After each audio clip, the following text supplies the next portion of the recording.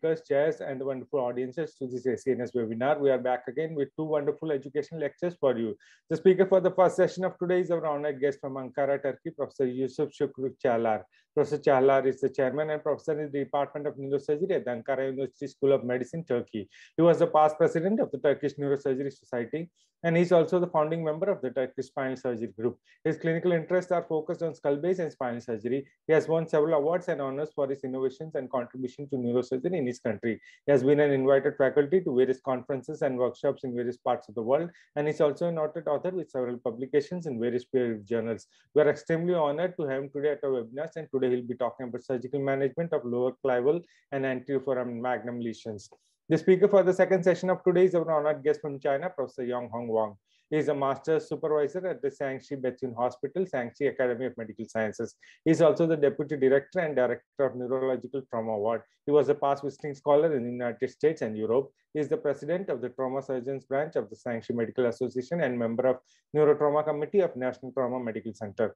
We are extremely honored to have him today with us, and he'll be talking about the mechanism of cisternostomy. The chair for the first session of today is our honored guest from Tokyo, Professor Akihide Kondo. Professor Kondo is the chairman and professor Department of Neurosurgery at the prestigious Juntendo University, Tokyo, Japan. Professor Kondo is an expert in the management of brain tumors and is a very prominent figure in the Japanese Neurosurgical Society. His research interests are focused upon skull base surgery, and he has published several manuscripts in various internationally peer-reviewed journals. We are extremely thankful to him for accepting our invitation to chair the first session of today's webinar. The chair for the second session of today is our honored guest from Nepal, Professor Amit Thapa. Professor Thapa is the director of the Advanced Neurosciences Center and the head of Department of Neurological Surgery at the Kathmandu Medical College Teaching Hospital, Sinamangal, Kathmandu, Nepal. He is the vice president of the Nepali Society of Neurosurgeons. He is also the chairperson of the Neurospine chapter of the NASON. He is a renowned author with several publications in various international journals. He is also on the editorial board of several prestigious journals like Journal of Peripheral Nerve Surgery, Annals of Neurological Surgery, and the Stroke. We are extremely honored to have him today to chair the session of Professor Yong Hong Wang. On behalf of the Education Committee of the ACNS and the President, Professor Yoko Kato, I would like to welcome all the chair speakers and the wonderful audiences to this online platform of ACNS webinars. A very warm welcome to all our colleagues in China, and we are extremely thankful to Professor Shubin for broadcasting this webinar on the WeChat channel. Dr. Liu Boon Singh from Malaysia is my co-host for today. And with that introduction, I would like to hand over this podium to our first chair, Professor Akihide Kondo. Hi, everybody. It's a great my honor to introduce the, Professor Charles and Professor Chara is uh, like a leader of the, Ankara University, Turkey. And uh, uh, you may know that uh, he has contributed to the development of the new surgery in every field, especially about the, the spinal surgery and skull base surgery. And also here, uh, I'm not impossible to introduce all of his achievements so, but uh, uh, what I can say here for sure is that uh, he's continuing to publishing the paper and acting for the clinical surgery and also contributing to the further development of the neurosurgery in the whole over the world. I'm really looking forward to today's his lecture and uh, which is sure to be based on that his expensive, expensive, extensive experiments of the, the surgery. Now, Professor Chalansu, please start your lecture. Thank you very much for these nice words. And I'm really excited and it's my honor to be here. And I would like to express my great appreciation to all the our Asian colleagues and especially for Professor Koto and from your nice words from Professor Kondo. Uh, I hope we'll in the future meet face to face and discuss many things better. Now, today I briefly would like to uh, present my experience and my philosophy uh, to the surgical management of lower clival and anterior foramen magnum lesions. This is a part of the body all neurosurgeons found it, I think, challenging. This surgery really challenging. The anatomical parts of this region is the lower clivus actually is, C1 odontoid process and foramen magnum. We call all this part as craniovertebral junction. This junction actually uh, has many different lesions and these lesions may come from the clivus. as we all know, clivus means it's like a hill. And the part of the clivus can be different for different lesions. It's a, uh, if we divide it, it's a division that we need for surgical approaches, not an anatomical division, but we can call uh, the part of the clivus above the abducens and trigeminal as the upper clivus. The part between the fifth and ninth cranial nerves can be called as middle clivus. And from the ninth cranial nerve to the foramen magnum, we, call, we can call this part as the lower clivus. And I will give a special attention to that part. Most common lesions of this part is, as we all know it, chordoma. Sometimes chordomas can be a really tough case for us. And uh, I will show some cases which we deal with difficulty sometimes. Chondrosarcomas, meningiomas, osteoblastomas, metastatic tumors can be found here, and some type of cysts like dermoid or epidermoid cysts can also be seen here. And in my country, we also see some diseases like cystitic. Foramen magnum is also a special part of the skull, and the, as we all know that it is a special shape, oval shape, and it's getting wider posteriorly. Anterior is narrow, the anterior part is more narrow, and here below this part we see the odontoid process.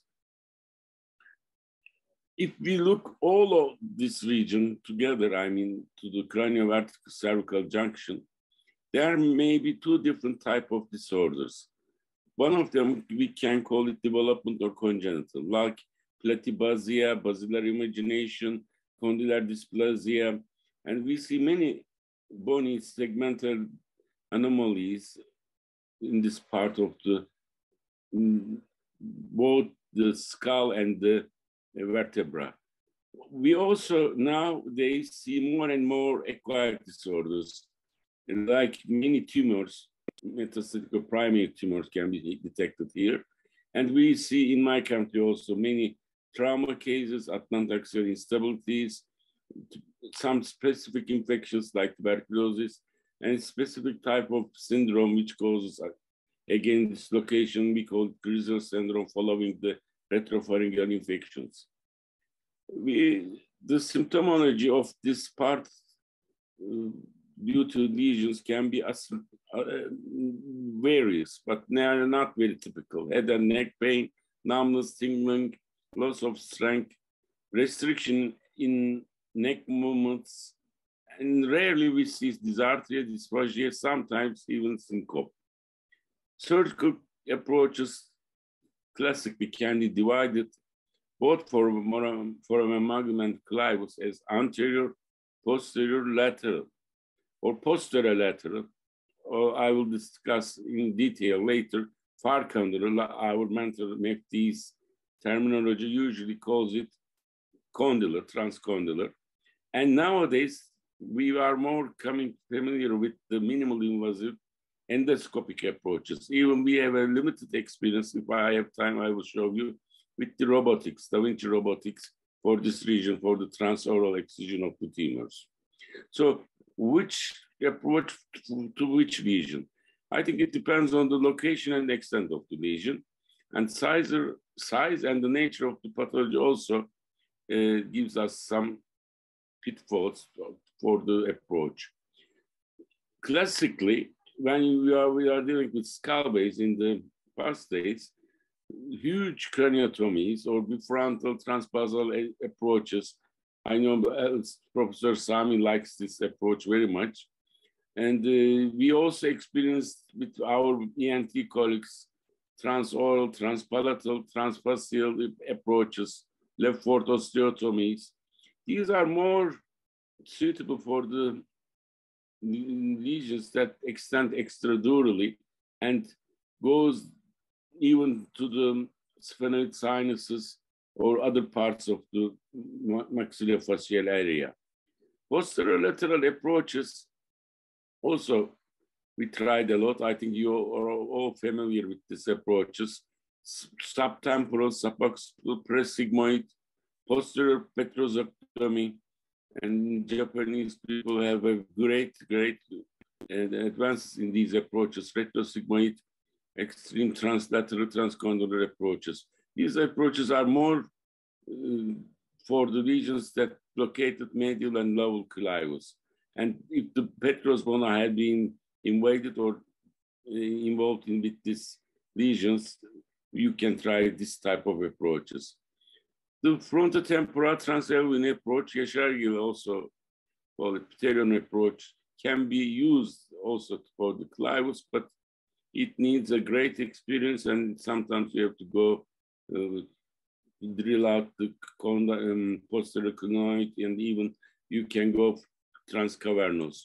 Subtemporal transtentorial approach is also has many difficulties and I don't think nowadays uh, it's going to be more popular because of the approaches that we've switched to now, like minimalism approaches with endoscopic. In the past days, our mentor Crockard, you all know him, popularized the transoral transpalatal approach. We, I had a few experience, and first of all, you cannot uh, try this approach in some cases, like with a large tongue, if the patient has a large tongue. And the postoperative period was really sometimes very painful for the patients.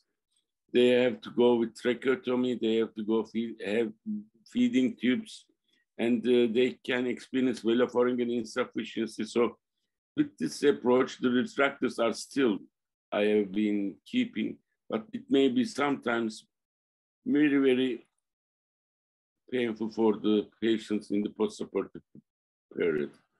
We have a good collaboration with our ENT colleagues, and when the first endoscopic uh, surgeries have been coming in, in our department, we tried first the biopsies.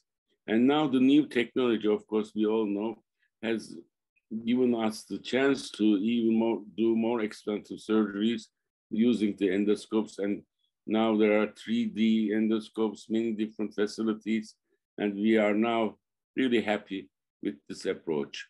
Median suboccipital approach, we all our, uh, during the residency have been tried, and sometimes it may help. You have to know the anatomy well. But the, my favorite approach for this region is the paramedian suboccipital approach. El-Mefty inspires a lot, of course, and he called it transcondylar approach. I will discuss the details later. And uh, I usually prefer a hockey stick incision, which uh, begins in the from the mastoid tip. I don't know if you can see the cursor. Then it goes up to the nuchal line, and in the midline, it goes down to the C1 and C2 level. They also call it far lateral approach. We prefer mostly park bench position. Some of my colleagues it in the semi-sitting position, but I am not so happy with that position. Dissection of the posterolateral muscles are very important.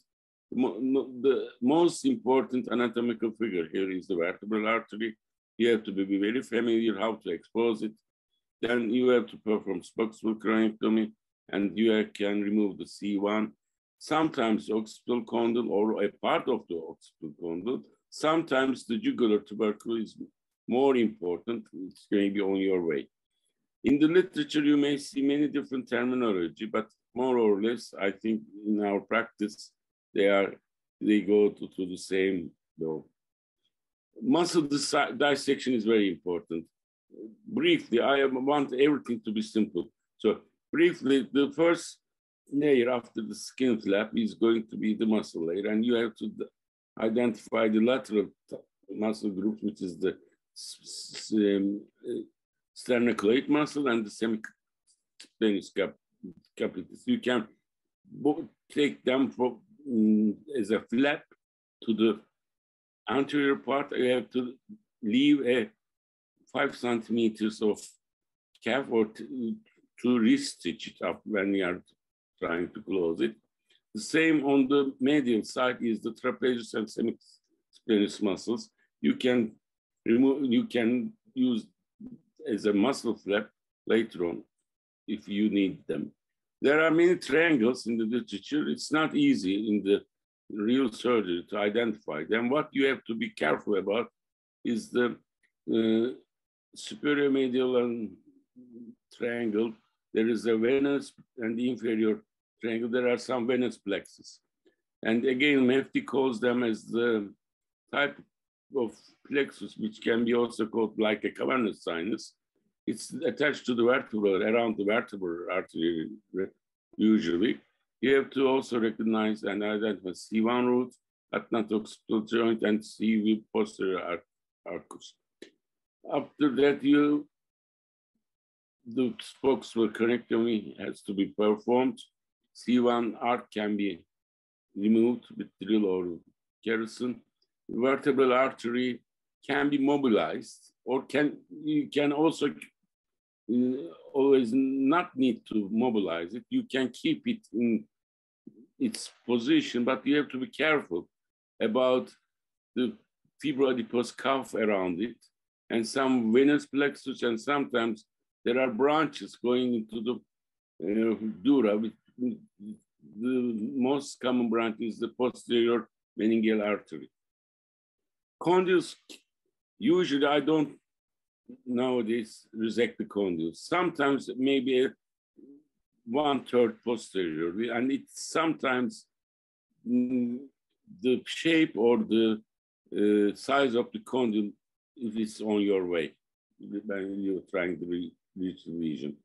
You have to go dural incision medial of the sigmoid sinus and posterior to the vertebral artery. Again, you have to be careful about the hemorrhages here that I have mentioned before, marginal sinus and posterior meningeal artery. What I want to show you here is the jugular tubercle.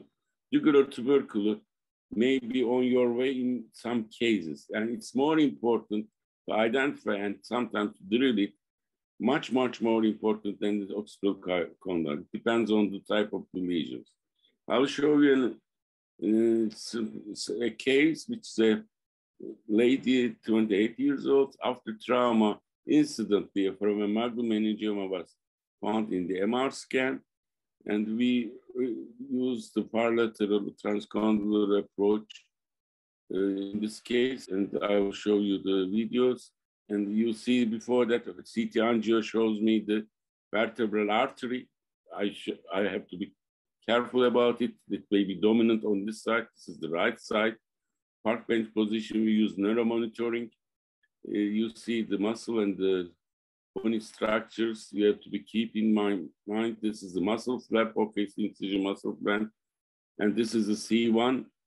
And uh, this is the, you know, when I'm trying to uh, dissect the muscles, you see the bleedings coming from the marginal sinus or the venous plexus around the vertebral artery. So this is an alarming sign. You have to be careful about the vertebral artery. And I think this is an artery that can be a branch or maybe a posterior, going to the posterior dura, that's posterior meningeal artery, maybe. You see, this is a case where step by step, we have to be careful about the bleeding. And this bleeding is an alarm that the vertebral artery is around. You, I'm using Doppler. So Doppler uh, make me sure that the, the still I am how much I am far away from the vertebral artery. This is the occipital this is the C1 arch. And the, the navigation probe, of course, navigation also helps us a lot. And the navigation is good in skull base, better than the brain parenchyma. Of course, we all know that. Bring out the occipital bone, and uh, the kerrison also helps. I don't need to remove a big part of the occipital bone. Now I'm coming to drilling the foramen magnum region. And I have to be careful about the jugular tubercle and jugular bulb, of course.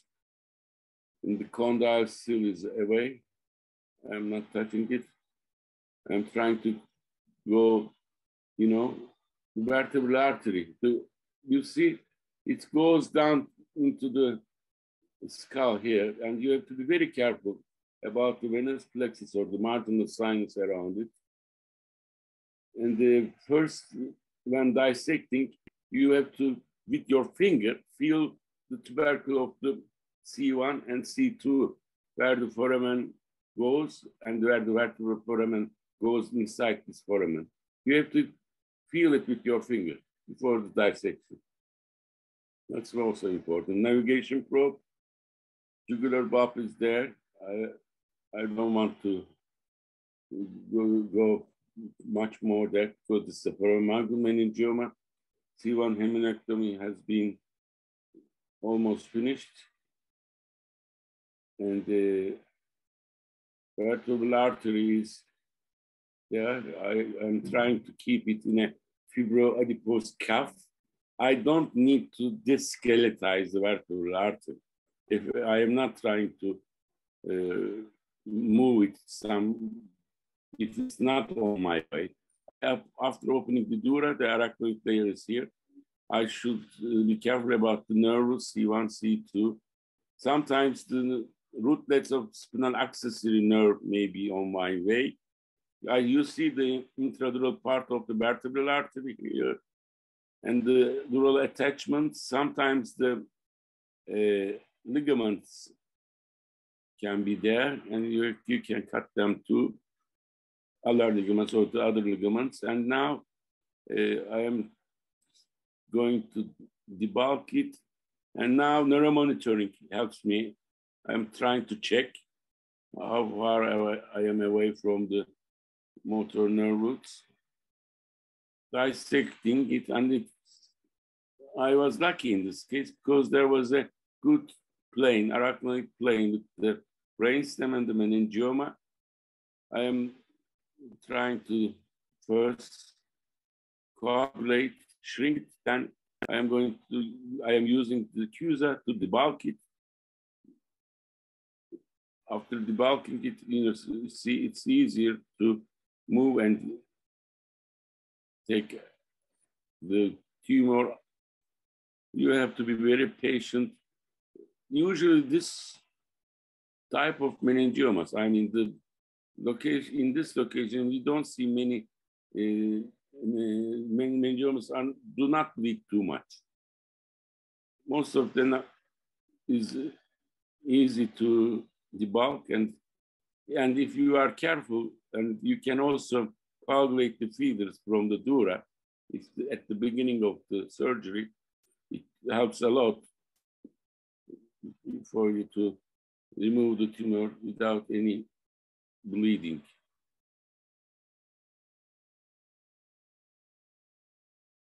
You see, I'm trying to detach from the dura. Uh, it's now the tumor can be mobilized. As I have mentioned before, there isn't much uh, the, it can be easily detached from the arachnoid. So there's a good arachnoid plane between the brainstem and the tumor. It's uh, you see the cranial nerves. It's the soft nerve. I'm going to again open a window and to use CUSA. Again, trying to identify the motor nerve roots. And there are usually radicular arteries or the veins which go just behind the nerve roots. You can sacrifice this nerve root, as we all know, but you have to be very careful about the spinal accessory nerve. And if the spinal accessory nerve sometimes have variations and you with the probe, if you detect that it goes to the shoulder or deltoid muscle, some, it can maybe uh, cause the weakness in the shoulder postoperative. So the patients are not going to be happy with that. I have one case like that, so still the patient is uh, complaining about her shoulder.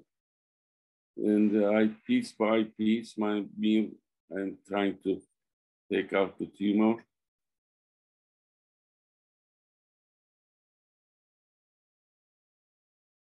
And again, always trying to uh, be sure that it's not going or attached to the other vital structures. You see there's a feeder, arterial feeder here. And I coagulate it, I cut it. You have to be patient. It can be easily mobilized, but do not take it out uh, without being sure that every vital structure has been detached from the tumor.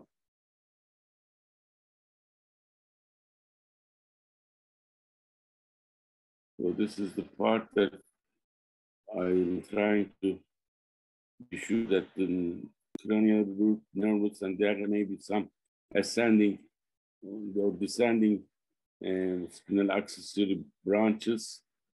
It's not easily, you can always uh, be sure with the neuromonitoring in these cases. Dentate ligaments can be sometimes misdiagnosed as the nerve roots. You can easily uh, deattach the dentate ligaments, cut them. Again, be patient. Sometimes you have to be careful about your instincts.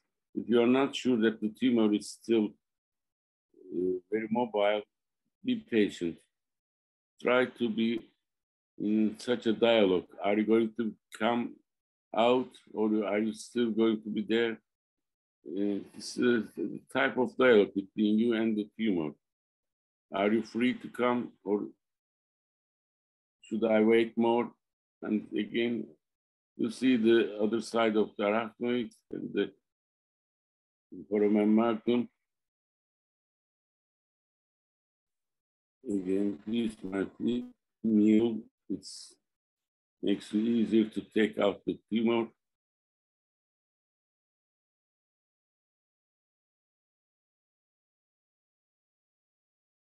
Of course, neuromonitoring is vital. Uh, I have to say there were very bad experiences in the past. CUSA is very important. A good micro dissection technique is, of course, must. You have to be trained well. And uh, we have one case like which we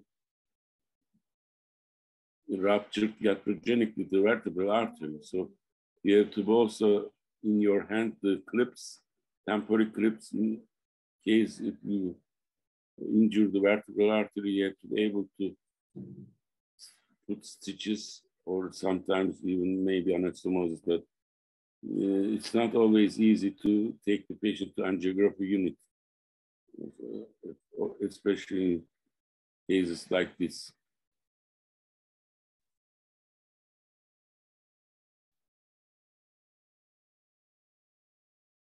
You see, the tumor is not very willing to come still. And now I convinced the tumor come out.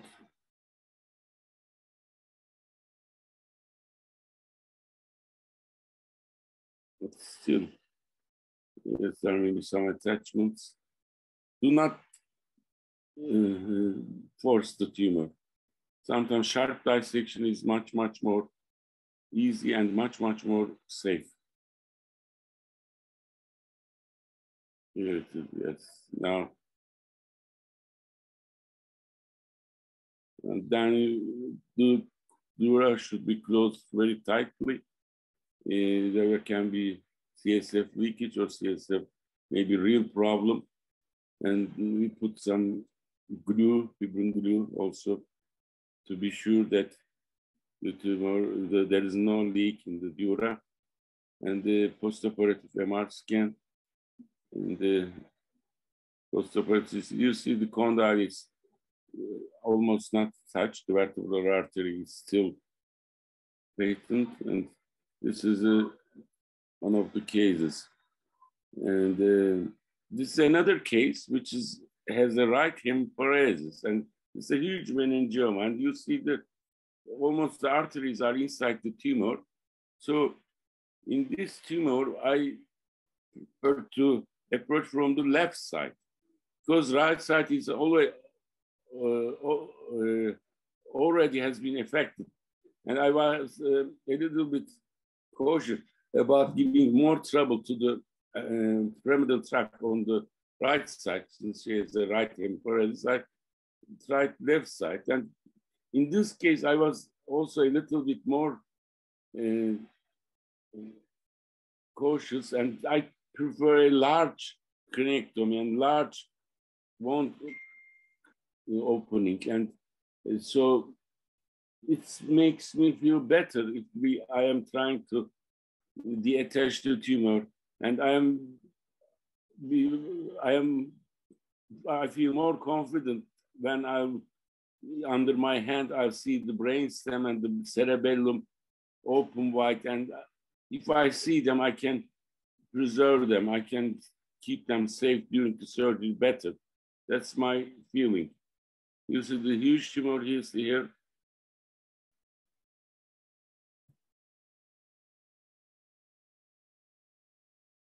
And the arachnoid, CSF.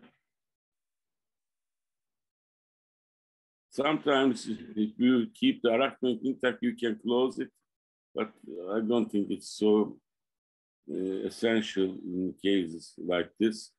CUSA again, and then uh, the, see the tumor is more uh, has a more soft tissue sometimes, and it's easy to suck it out with or without CUSA.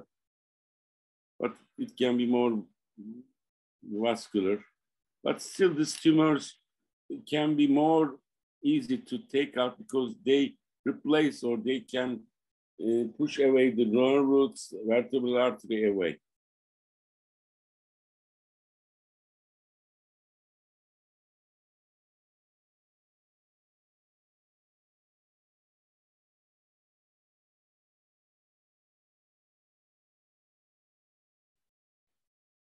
Again, the same philosophy. Sometimes piece by piece. Debulk it, be patient, it's a type of dialogue. Are you ready to come out? Of course, I'm not so quick. This is a quick edition of the surgery. And you see, even large tumors can be removed with this procedure. And again, the postoperative we put some fat or fascia sometimes to close the uh, dural opening.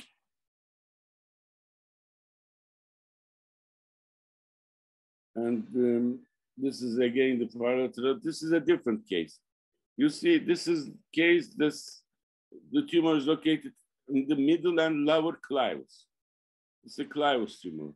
And if the old days, I think we will have to discuss how should we remove the tumor. It's just behind, uh, next to the apex of the petrous bone. But nowadays, thanks to God, there is endoscopy. And I was also a little bit cautious about using the endoscopy in this case because still I don't have much experience. My colleagues are more experienced than me. We need sometimes take help from the ENT guys, and they open the first uh, uh, go down to the clivus and they keep a flap to close it. So this is really helps a lot to close the wound and avoid CSF leakage. They call it Haddad flap.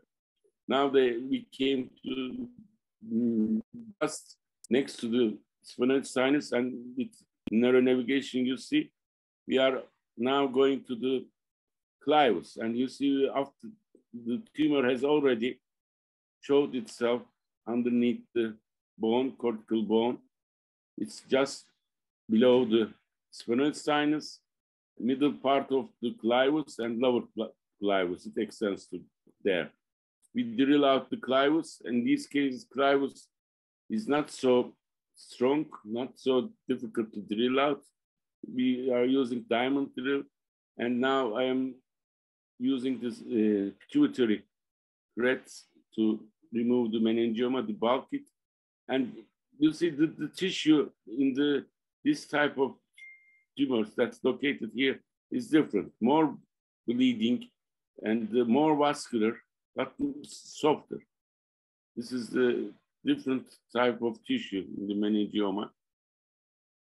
And of course, this is sometimes uh, can be a nightmare if you are not sure that the tumor is not do not attach to the brainstem or vertebral basilar artery. You see brainstem, I am feeling it, and with, I know that the, it's a feeling uh, that it's not stick to the this structure. So you have to be very careful, of course, and you have to be very patient. It takes hours you know to remove it piece by piece.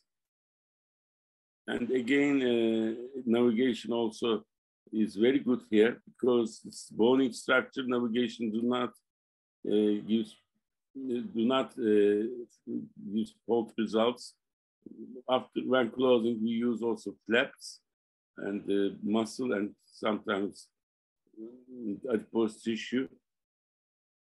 So the tumor like this can be easily removed. This is post-operative, even if it's in the old days we were trying to use many skull-base approaches, which are very, very difficult to open and sometimes we have to take all day. Now it's this is another case which is only a, uh, like a basilar invagination.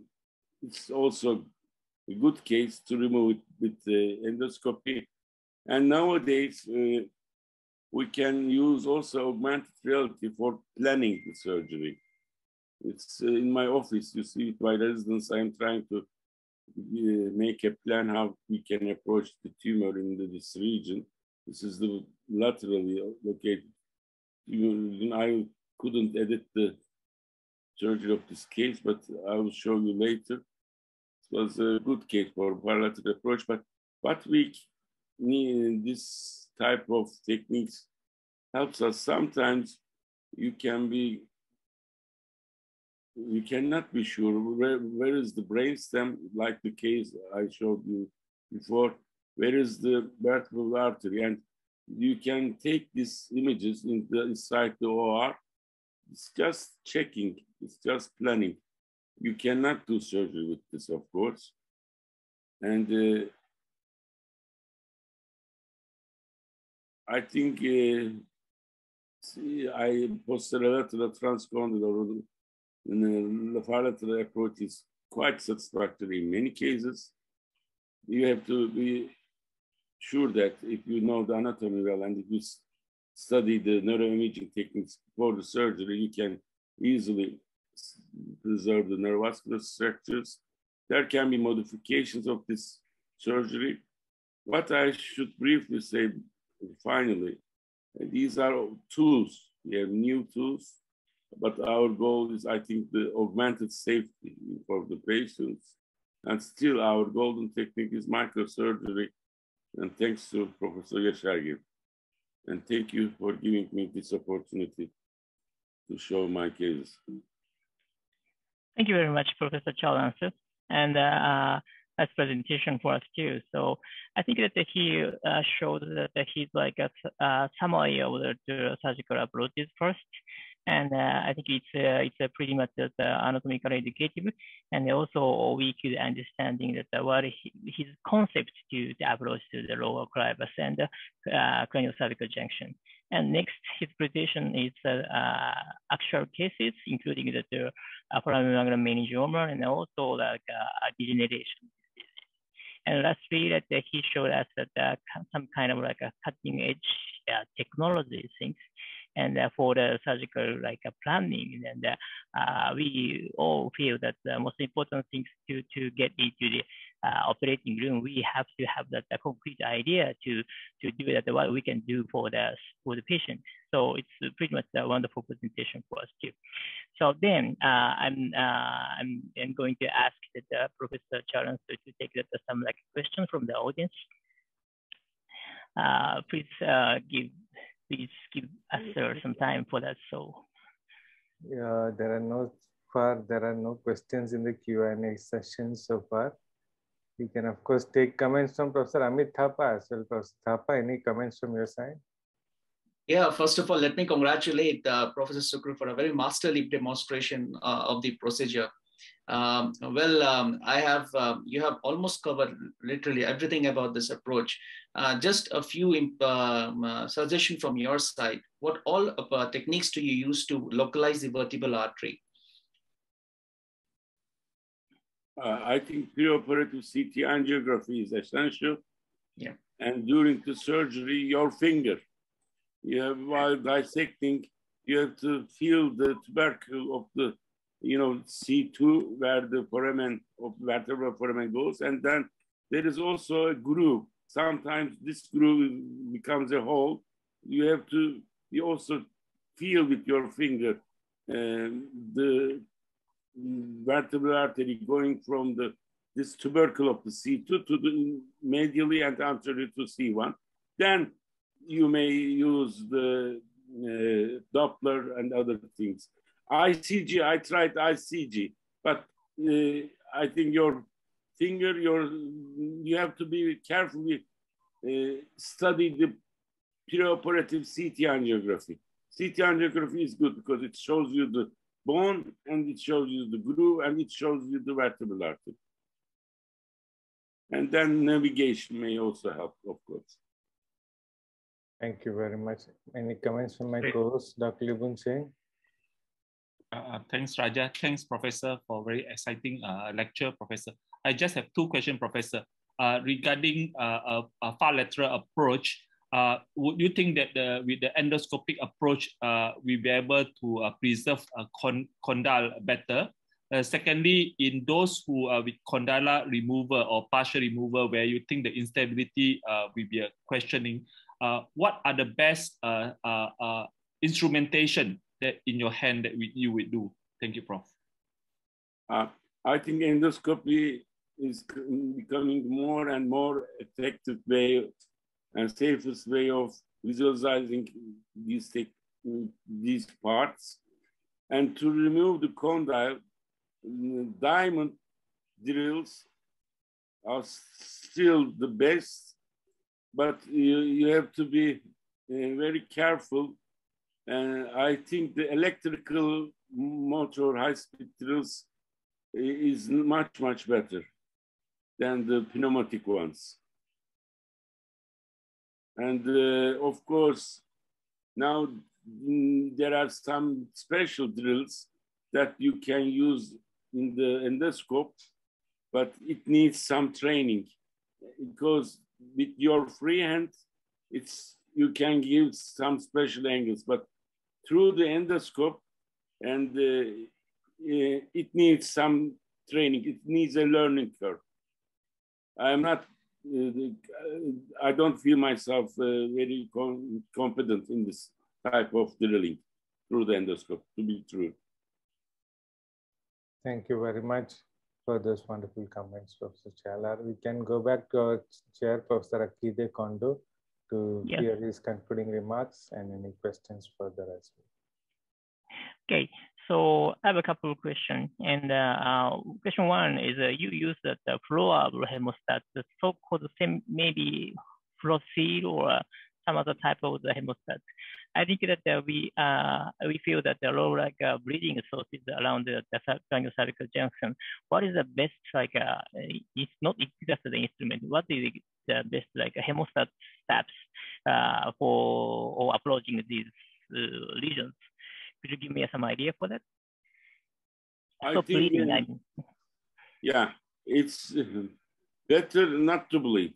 The best way is you, you know the anatomy, and uh, I don't uh, like these hemostatic agents very much if we are going to open the dura. Sometimes it goes inside the dura and it may cause even uh, some atypical complications. We experience especially in the brain. So uh, if you have time, it's better if it's a venous bleeding to put a piece of cotton and uh, some type of surgical Gelfoam and then wait. But all my residents and we all are more uh, eager to use such type of chemical agents Um, but they work well, and uh, you have to clean them in the end. That's most yeah, yeah, important. exactly. You have don't. uh, You have to be careful. You have to wash it, wash it, wash it. If you don't wash Mhm. it, it may cause even infection under the skin. I mean, so it's not uh, something very ideal. I think it's Okay. uh, maybe used in very uh, emergency cases or in the war surgery and such type of things. But uh, I am not happy that all my residents are getting used to use it more and more, and they are not going to forget to make hemostasis with bipolar or with uh, all classical ways. So I, there are some complications, there are some side effects, and they have to use it properly. First, be patient, then put the cotton, wait, and then wash it, wash it, wash it with water. Okay. Okay, I do this. And the second, my question is like uh, uh, C1 laminectomies. And uh, uh, you mentioned something about that you don't have to like uh, remove or like mobilize the, the C1, uh, sorry, vertebral artery. But in just cases that uh, you still uh, remove that lam lamina for identification or like a good, good surgical field for the for the for the uh, intradural region. So what, what is the exact necessity for the, the C1 laminectomy? Could you give me an idea for that? I think it's, it's a limited laminectomy. If the vertebral artery is not on your way, sometimes you can look, uh, see from the uh, CT angio in the axial cuts, the vertebral artery may be coming more medial than posteriorly.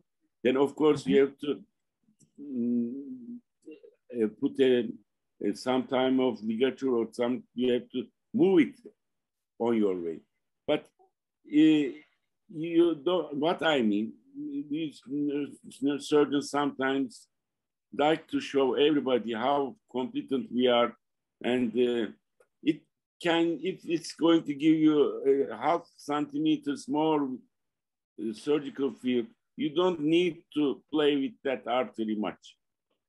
It can be a narrower uh, field for uh, surgery, but to deskeletize and then move and uh, put the vertebral artery away is not necessary. It's only maybe sometimes a few millimeters of centimeters gives you more, but it's not, it doesn't uh, mean that you have to take that risk of causing complications. Sometimes you may even cause a stroke. If, some patients in my country, there are a lot of atherosclerotic patients.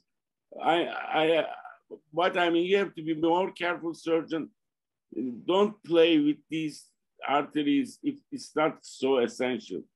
Just keep them away. I mean, there may be some dangers. We have a case which we, we ruptured the vertebral artery and we put two clips and we were lucky we could stitch it and the vertebral artery was patent, but it may be sometimes disaster. Professor Thapa?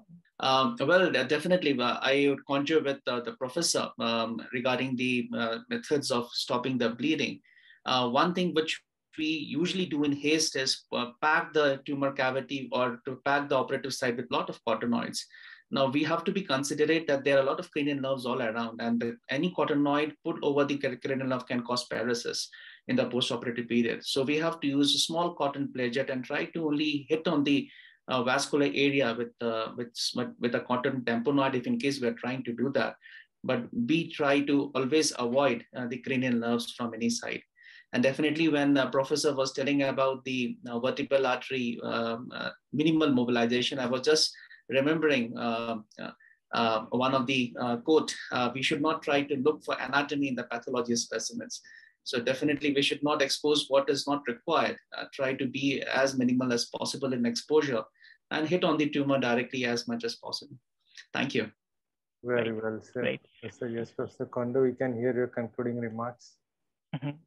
Okay, so you know that uh, what I'm sure here is like uh, you know uh, still like a Professor uh, is a, a great surgeon, And also we uh, we are not like a good surgeon for the, the subjective junction since that it's like a complicated for anatomical things, but still uh, his lecture is pretty helpful for for the, our like a tomorrow to uh, our clinical uh, trial for that but still that there, you know, or that, this part of the lesion is like a challenging surgery. So that uh, we should understanding that what he want to say here in, in this lecture, and we could uh, understanding much more from from his like uh, uh, publication or his lecture. Thank you, thank you, thank you so much for about the, the Professor Caglar answer, and we have really enjoyed that uh, your lecture. Thank, thank you very thank much. You very much thank you very much. Very, very, very good. Thank you very much. Thank you. Well, thank you very much. It was indeed a very excellent session by Professor Sukru Caglar. And thank you very much, Professor Akihito Kondo for chairing this session.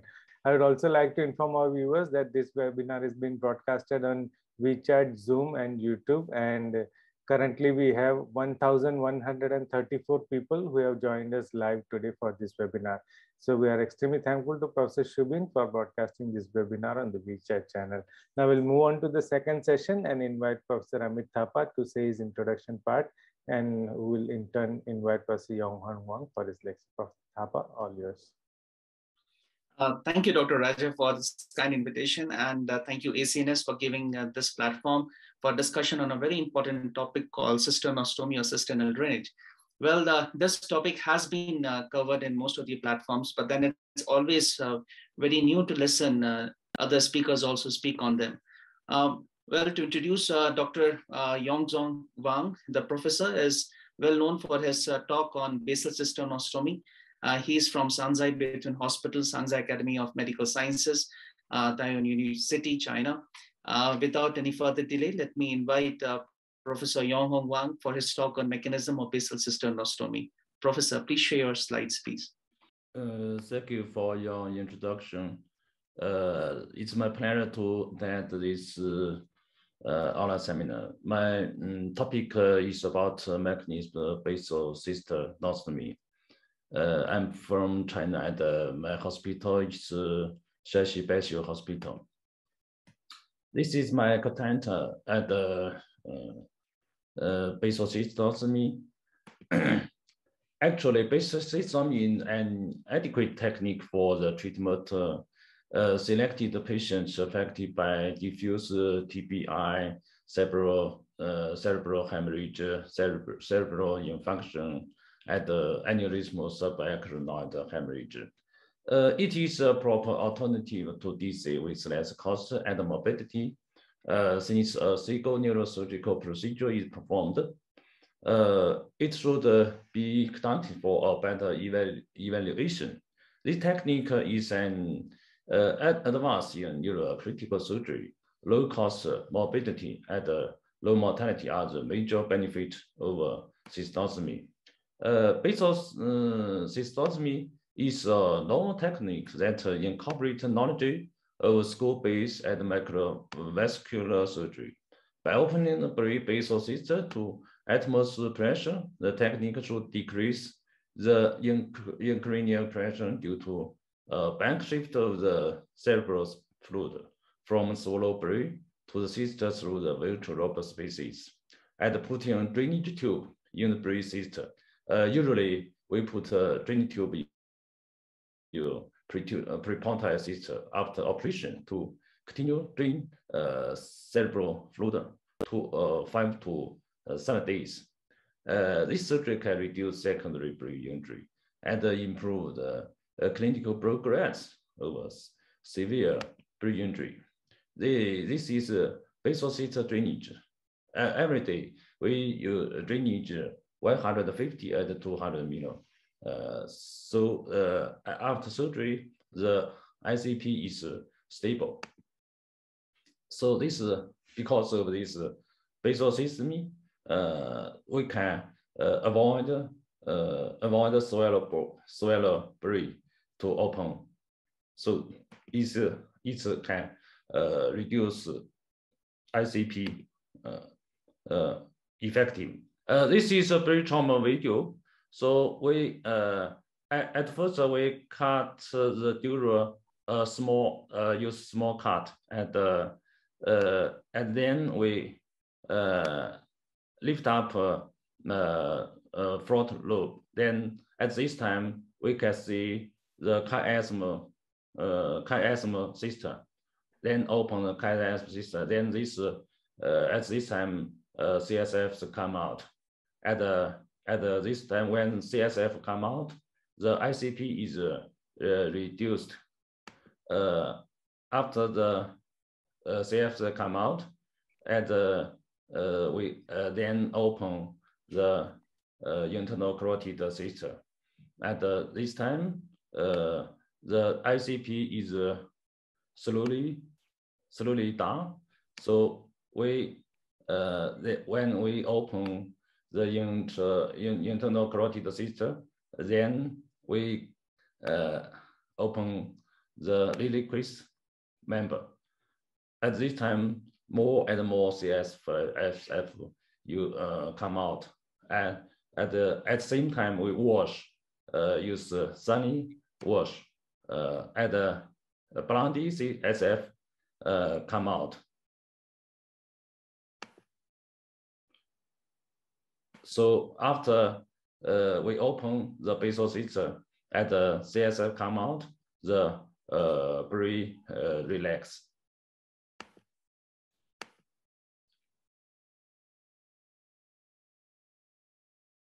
Uh, at uh, this time, we can a lot of CSF, bloody CSF come out. At this uh, is Liliequist, uh, map. Uh, we open the Liliequist at the put the tube, put the drain tube in this uh, second space.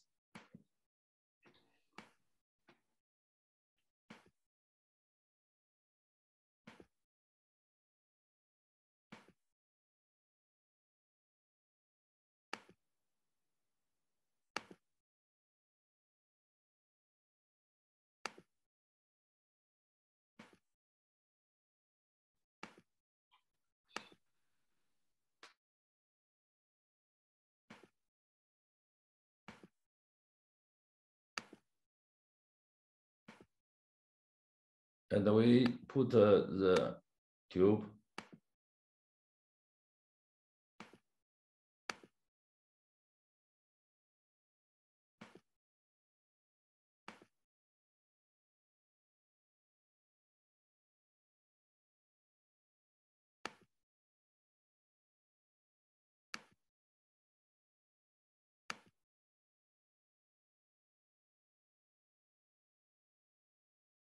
we put the drain tube in second space.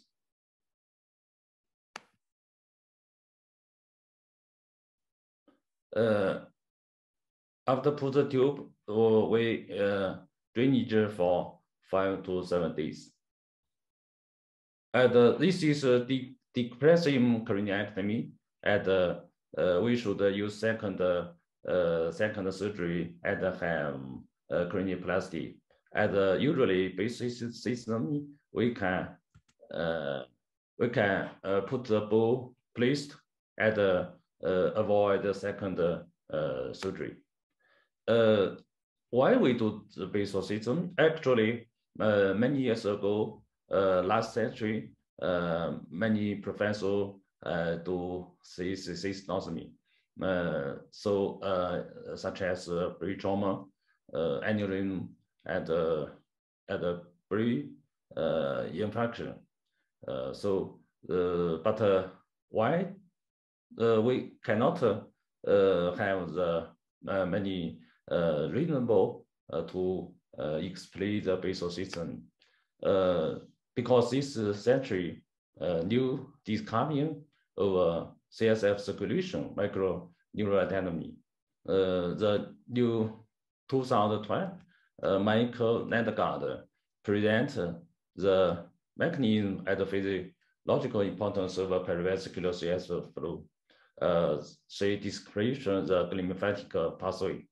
At uh, 2050, uh, to at the same time uh, have published two papers about uh, dural lymphatic uh, lymphatic vessels. So in the model view of the circulation, include the CSF uh, production in the choroid plexus as the extrachoroidal sites flow over CSF from the ventricle system and to the subarachnoid space. CSF flow into the lymphatic system, which is crucial for preclinius and homeostasis. And lastly, drainage over CSF and pre extracellular fluid through dural uh, lymphatics, uh, perineural species, perisagittal species at the arachnoid granulations. Now, this is a timeline of important discovery in breed fluid transport and uh, 2012 discovery glymphatic system and 2050 discover uh, dural lymphatic uh, vessels. The lymphatic system and the manage uh, lymphatic vessels, there are uh, transport uh, blue, uh, blue fluid transport into four segment at the fluid transport pathway. One is uh, periartery CSF influx, and the second is uh, aqua four spotted influx at the disposal of CSF in the uh, intracellular space. And uh, three segment is perivenous influx and the meningeal lymphatic vessels throughout the large venous sinus and export. Uh, this is uh, 2012 uh, for the, the lymphatic system. Uh, actually, this is uh, uh, cyto architecture of uh, meningeal prevascular and pathway of uh, perivascular recirculation. Uh, this is uh, periartery channels are designed as part of a coax system. The outer pyramid, uh, of the channels is made up by astroglial epiphyte. Uh, actually, this uh, uh, uh, divide three uh, function compartment. The first compartment uh, uh, is uh, lymphatic influx occurs, occurs in the subarachnoid space where CSF, CSF enters by bulk flow into the periartery spaces surrounding the arteries that are penetrating deep into the pre parenchyma. Uh, second part is the exchange of CSF and ISF occurs in the interstitial space of the pre parenchyma. The movement of CSF into the parenchyma is facilitated by aqua 4 water channel. At the third apartment, lymphatic efflux consists of drainage of interstitial fluid into the perivenous space, from which a neurotoxic and metabolic waste from ISF and reacts the CSF are transported directly out along meningeal and the cervical lymphatic vessels and along cranial and the spinal nerves. This is uh, structured at the at the uh, uh, lymphatic system uh, structure. Uh, this is a lymphatic pathway in pre metabolics.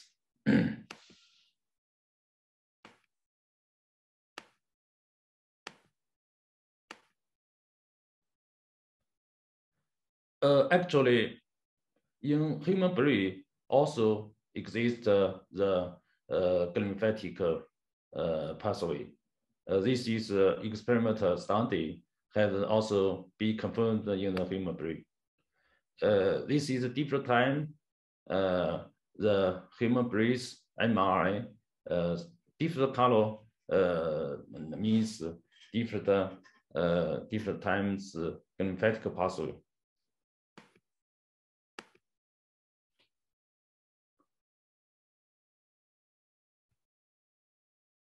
Uh, this is a 2050 uh, uh, for the, the meningeal lymphatics.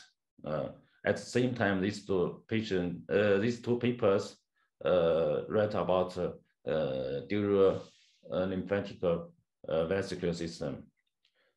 This uh, is uh, uh, movement of inter interstitial fluid to lymph diffuse. Uh, this is uh, CSF uh, production then to uh, pre-exchange, then to perivenous influx, and to lymphatic drainage. actually, meningeal lymphatic vessels at the skull base drain several uh, cerebral uh, spinal fluid uh, because uh, characteristic uh, features of a basal uh, meningeal lymphatic vessels located close to the CSF are characterized, characterized by protruding blood and capillary lymphatic vessel branches and lymphatic valves. The anatomic location of basal meningeal lymphatic adjust to the subarachnoid space make them more likely than dorsal uh, uh, lymphatic vessels. Uh, run mainly through the basal lymphatic uh, outflow. Uh, meningeal in addition, the morphological features and dis distinct anatomic location of a basal MLVs suggest that may be the main route of CSF uptake and drainage. Uh, basal meningeal lymphatic vessels are located in close proximity to the subarachnoid space with a much thin dural layer and with only a loose interval at the uh, arachnoid boundary means that the basal LVs would be more likely than uh, uh, to facilitate CSF uptake at the transport. Uh, this is evidence uh, for three major anatomy pathway for cleared CSF from cranial. Uh, when TBI re result in compromise the meningeal lymphatic drainage and the lymphatic function, because the meningeal lymphatic vascular is not associated smooth mouth. It uh, especially vulnerable to changes in pressure and breath volume inside the fixed skull. TBI results in compressed meningeal lymphatic drainage and increase in, in, in cranial pressure, which commonly observed in TBI can impair, can impair in uh, lymphatic drainage and affect the lymphatic function. Uh, if we preventing the rapid rise of ICP after TBI may prevent a route uh, in which to address both the glymphatic and the lymphatic dysfunction that persists after brain trauma. Uh, because the, the lymphatic system is responsible transport ISF to the CSF uh, surrounding brain uh, uh, lymphatic may a key drainage route for cerebrospinal fluid into the periphery blood. Uh, actually, uh, recent uh, research work demonstrated that uh, the fitness of lymphatic is modulated by meningeal lymphatic function, suggests direct linkage between the two systems when brain fluid without any obvious anatomic connection. As a is a pulsatile organ, uh, so the passage of pulsation through brain constitutes a kind of the force circulation.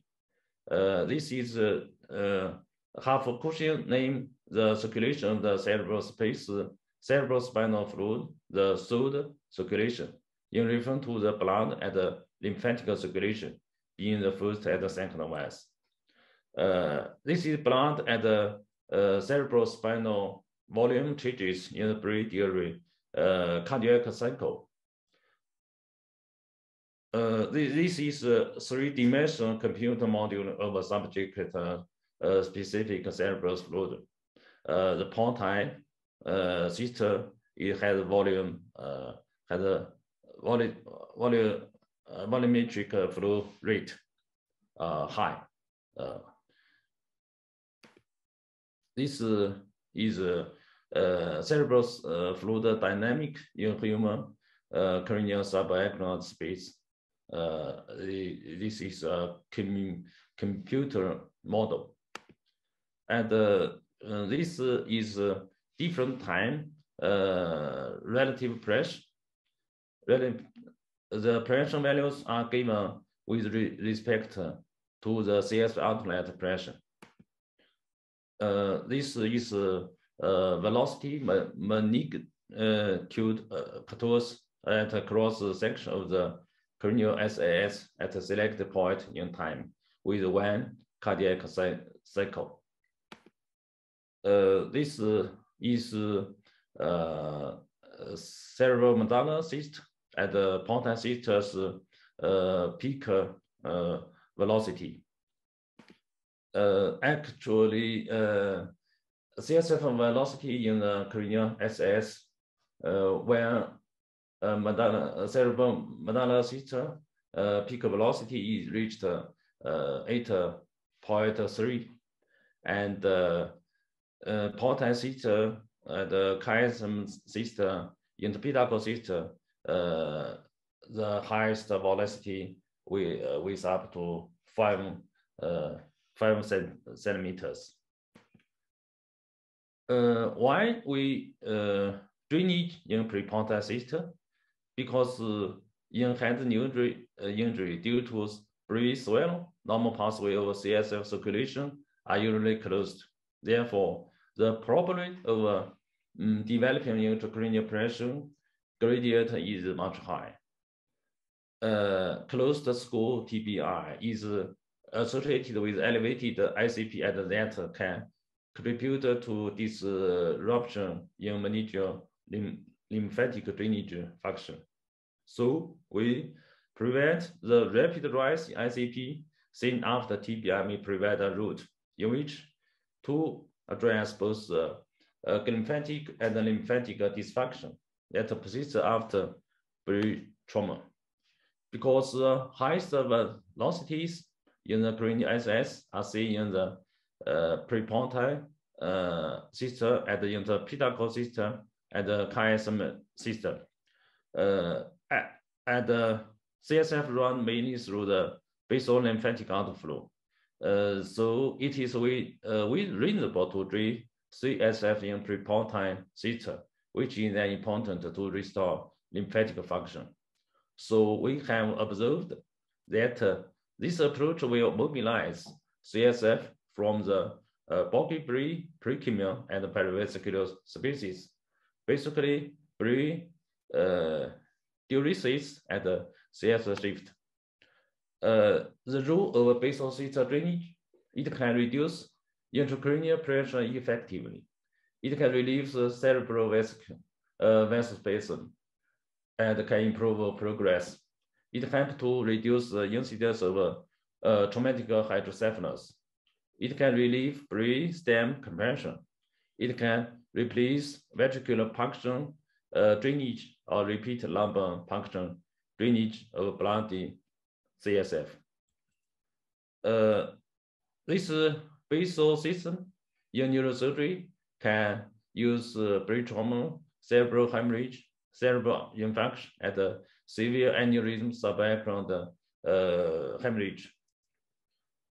This is uh, uh, some cases. Uh, the, this is this uh, nosomy for trauma-free herniation. we after surgery, the brain relax, the bone flap replaced. This is a 57 male patient, brain trauma, and right pupil dilation.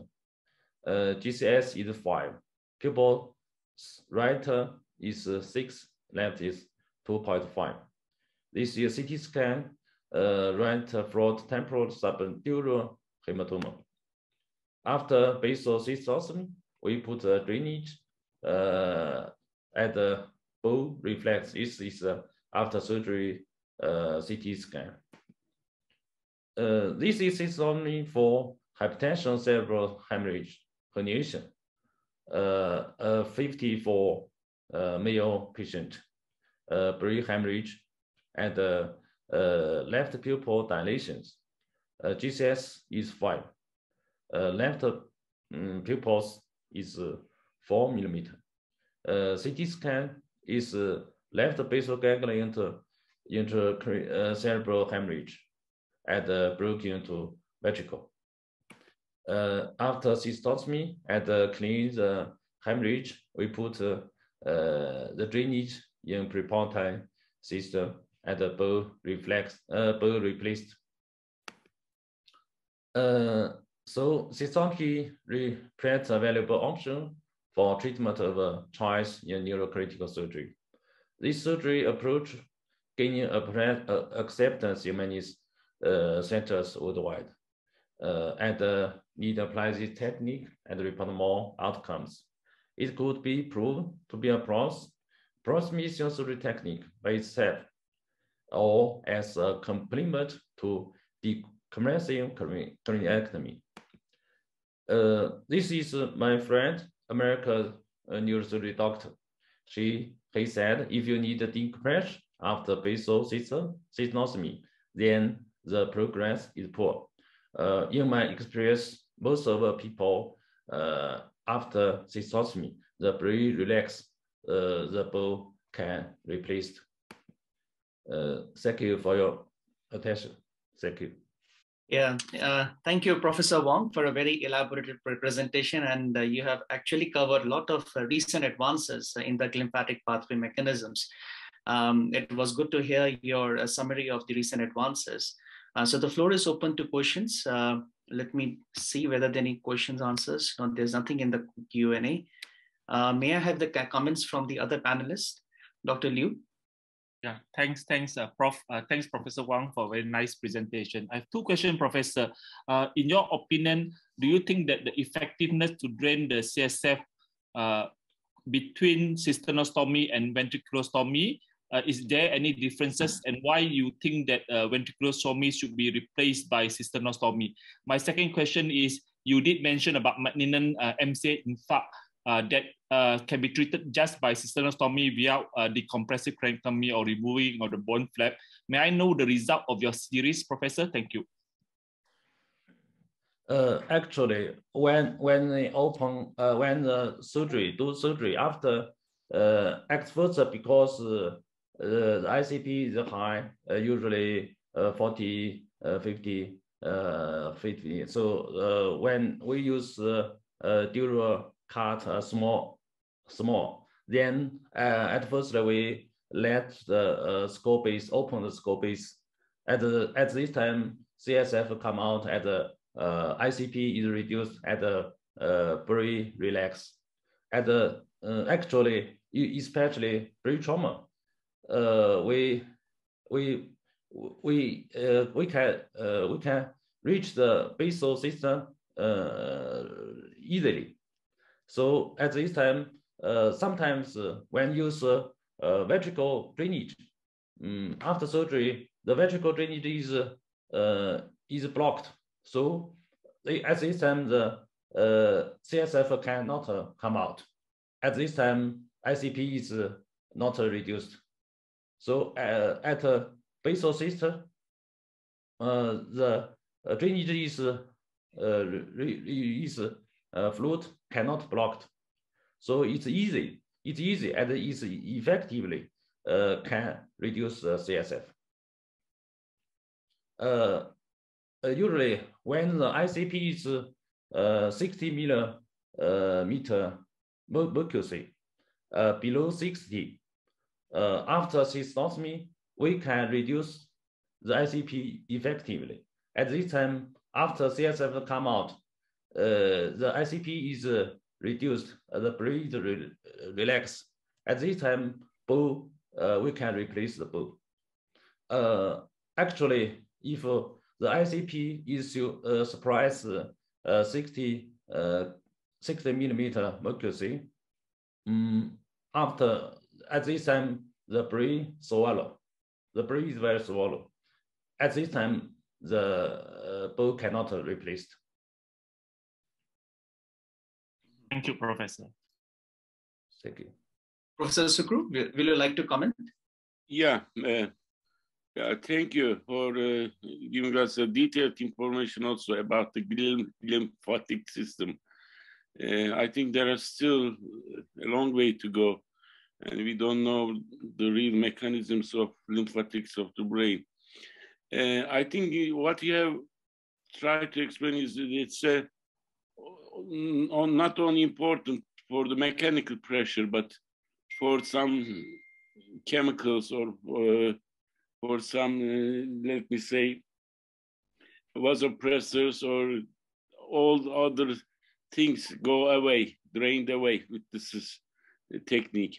But what I would like to ask, if you go to the prepontine system and uh, you open the Liliequist membrane, do you also open the lamina terminalis system?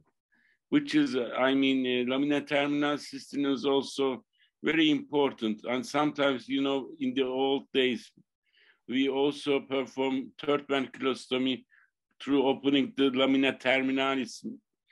And it also gives us a lot of uh, CSF coming from the ventricles as well. That's my first question. Do you open the lamina terminalis system? And do you sometimes do third ventriculostomy from the classical way and from the conventional way? Second question is, um, uh, after subarachnoid hemorrhages, some of my colleagues put lumbar drain and keep it for a few days to drain the CSF from the uh, blood. What's the difference in your cases? Is it more effective than the lumbar drain in just subarachnoid or aneurysm cases? I'm asking, not the trauma or other cases. Thank you. Uh, cystopathy at um, it uh, should be uh, open the Liliequist. Uh, uh, if we open Liliequist member, we can uh, let the CS uh, uh, come out more.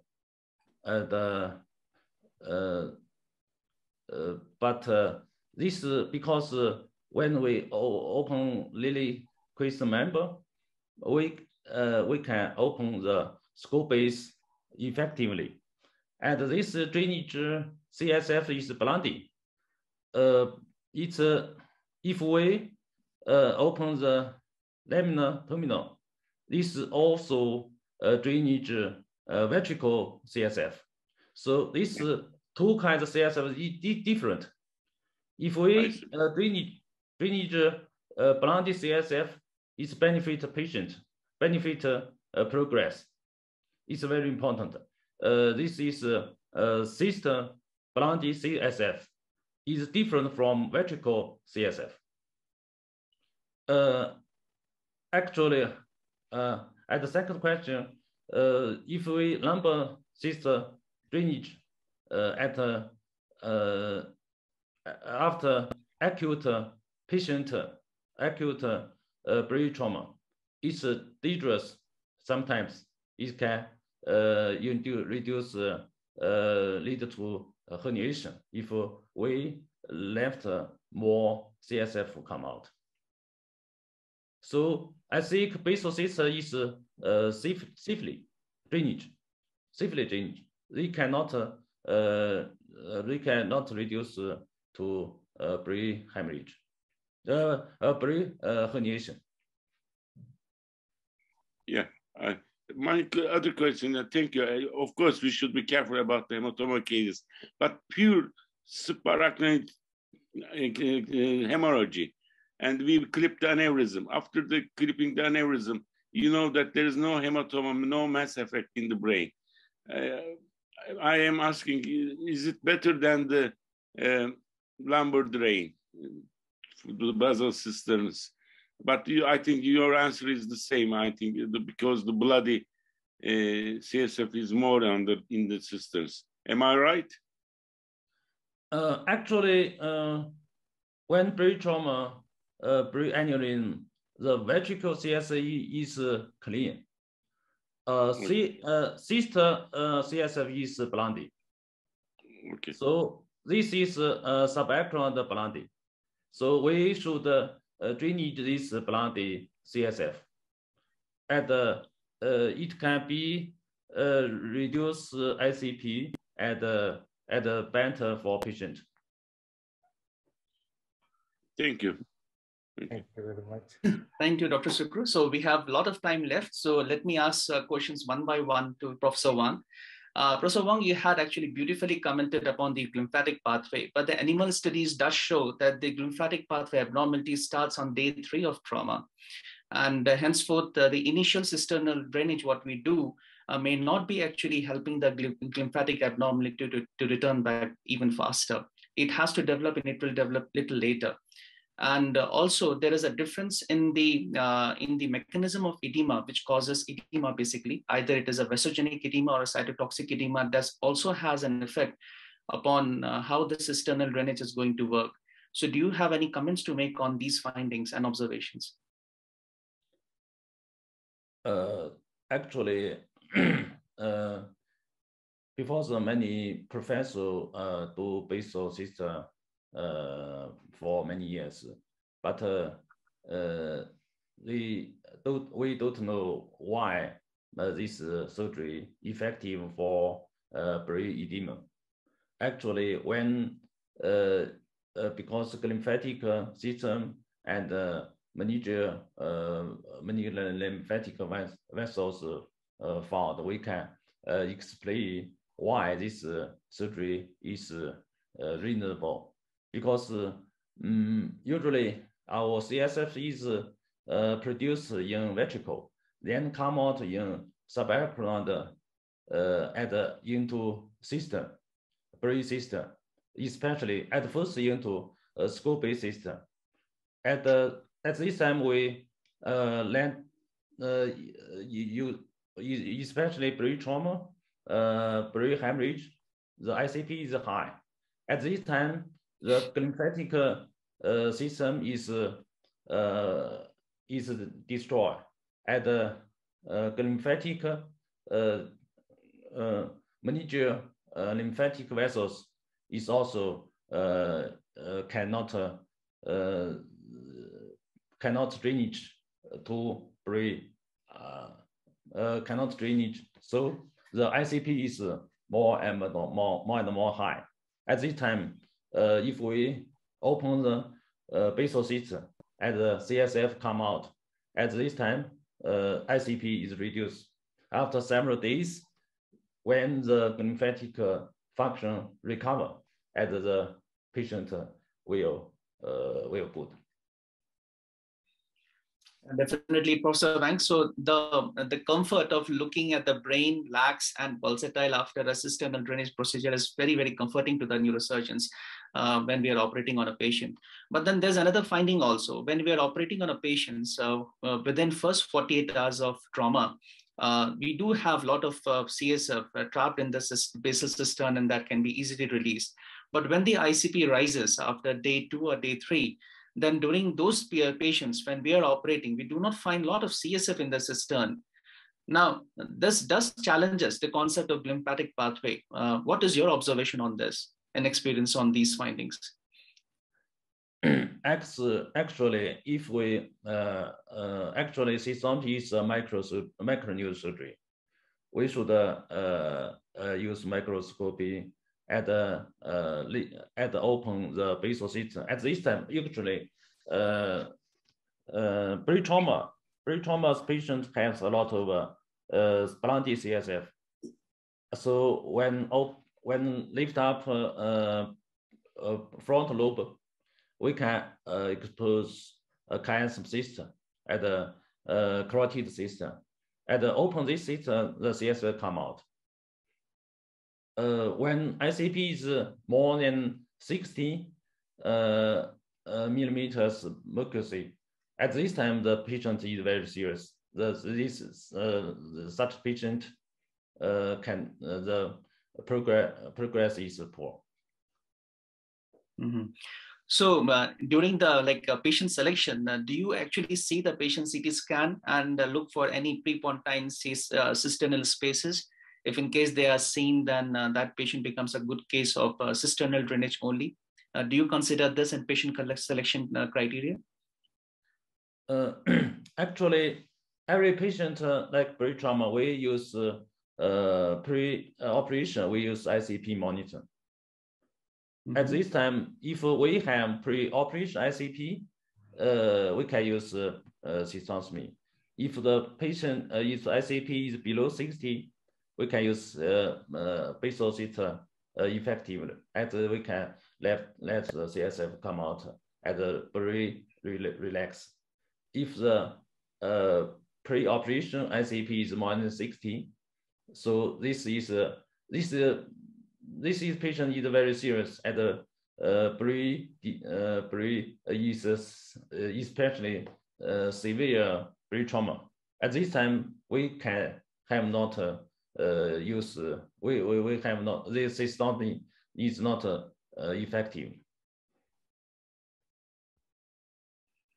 Okay, so you actually see the pre-operative ICP and then decide on the patient. And that's a very good uh, suggestion uh, which you have made, and definitely, Professor. Uh, beside this, uh, I have seen uh, in the surgical video which you had presented, uh, are you not drilling the anterior clinoid process completely?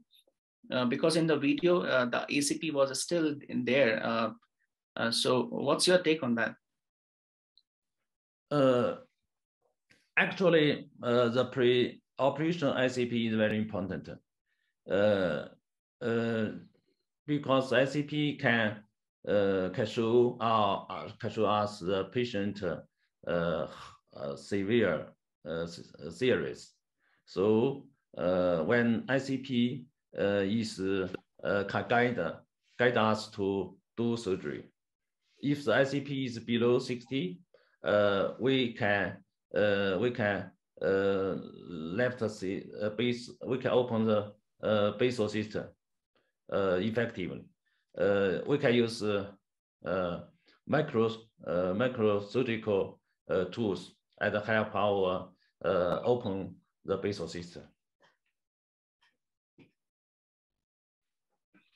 Okay, Professor Wang. So what uh, our experience had been that uh, ACP drilling is actually not required. Complete ACP drilling is not required.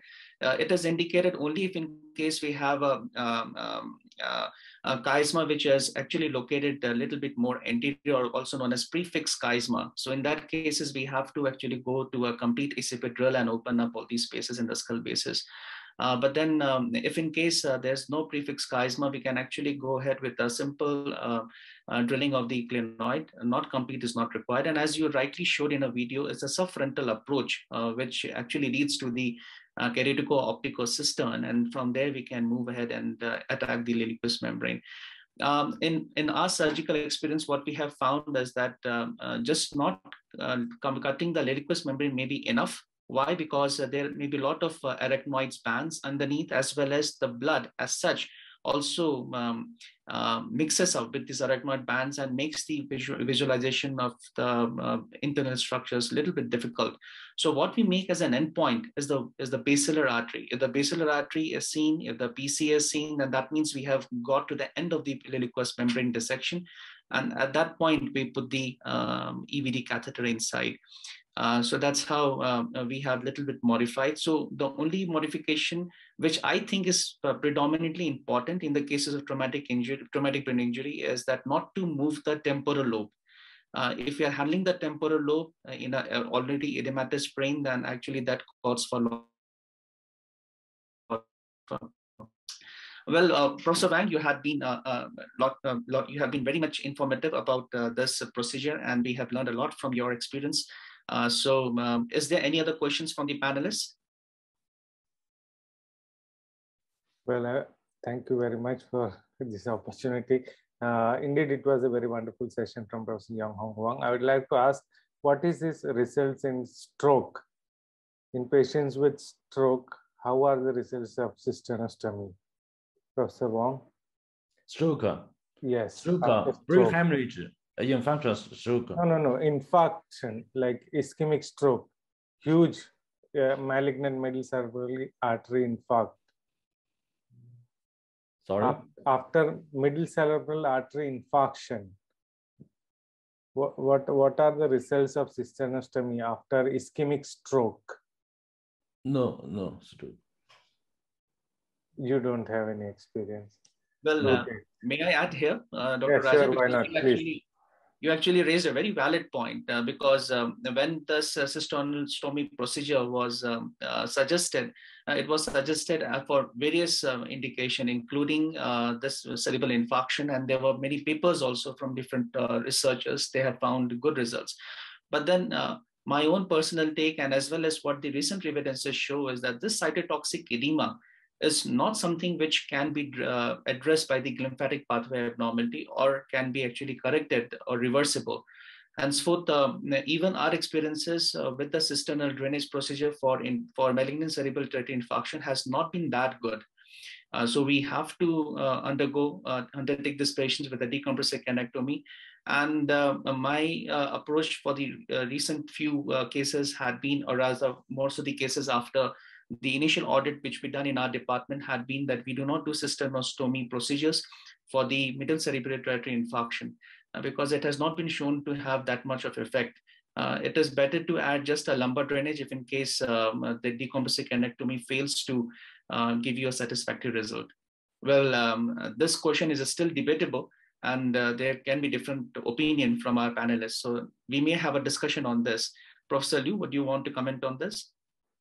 Yeah, actually, I, I never tried that, but uh, I think the the clear advantage of a draining system or doing a cisternostomy if there's a bloody cisternostomy. Otherwise, uh, probably like uh, what uh, Professor uh, Caglar have said, uh, opening the lamina terminalis is the best option where you drain all the CSF in all channels within the brain. But more importantly, I think again depend on timing. Uh, and and if you do do it early, then you have less brain damage. Otherwise, it's very dangerous to do cystectomy in uh, malignant brain swelling. Uh, second, uh, secondly, is uh, we also need to uh, look at uh, the shift because a prof did show us some subdural. In my opinion, if the subdural thickness are, are not so thick compared to the midline shift, then probably we can do away just by evacuate a clot and, and sometimes we are not sure whether the cisternostomy are really needed in those cases, especially the one he showed a large intracerebral hemorrhage. Uh, we do come across a patient that after evacuation of clot, especially in elderly, uh, we doesn't really need to take out the bone uh, and, and only happen to those cases delay surgery. Uh, you will get a delay brain swelling, uh, whether you got, you're going to do a cisternostomy or not doing a cisternostomy. Uh, I, I remember last time during my training, uh, we used to ask not to put EVD more than seven centimeter. Uh, with more than seven centimeter, uh, the likelihood for it to end up in pre-pontine cistern are very high. And that is a, a crime uh, among a trainee. And now we know that draining a uh, pre-pontine cistern is actually giving advantage. I'm not sure whether we should uh, revise that, that, that advice. Thank you, Professor. Thank you. Uh, well, uh, uh, I, sh I, should make this comment because uh, here uh, on this platform, there may be many residents listening to this. Uh, um, the reason why we were, we were, told not to go more than seven centimeter is that sometime, like most of the residents, when we were residents, we used to put the EVD with a stylet inside. So these are hard structures we can uh, puncture through the vascular structures um, underneath the pre, in, in, present inside the prepontine cistern. So that was the reason uh, why it was not advised.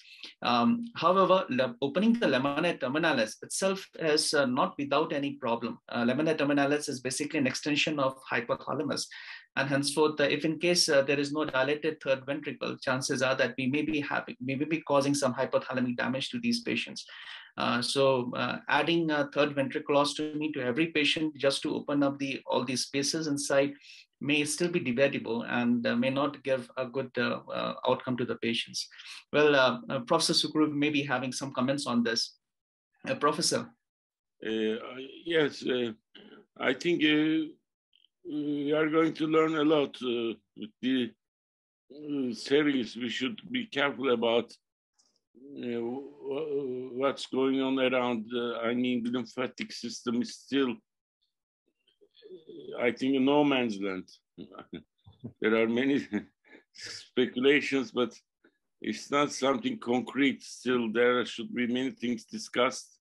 And um, in the future, I hope uh, uh, there will be more answers to many questions. We're still trying to find something you know, cisterns are really important. And when the Yasargil first introduced microsurgery in, in the, Europe, and they were criticizing him. This is a Oriental fa fantasy. If you are trying to operate the brain through cisterns, that's an Oriental fantasy. Now we, we all learned how important the cisterns. Cisterns became our somehow highways to go many sides of the brain. But what's going in the cisterns is an answered question. And uh, as you mentioned before, cisterns uh, content of CSF is different from the other sides of the brain. The plexus around the veins or the dural sinuses is still, there are many mm, reports on them. We'll see, and we'll go more molecular side of the brain, but still is going to be our, uh, still, uh, I think, the most important pathway to many different pathologies.